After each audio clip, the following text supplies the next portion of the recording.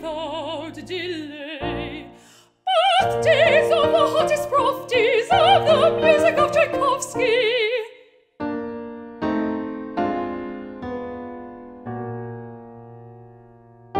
A town untouched by Keats or Goethe, called Lethbridge, small, small town, Alberta, produced a lady of ambition,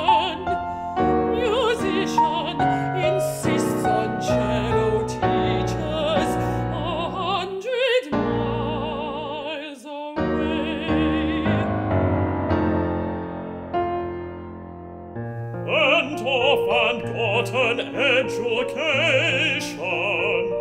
That Lisa certainly no dance. Endless degrees in every nation.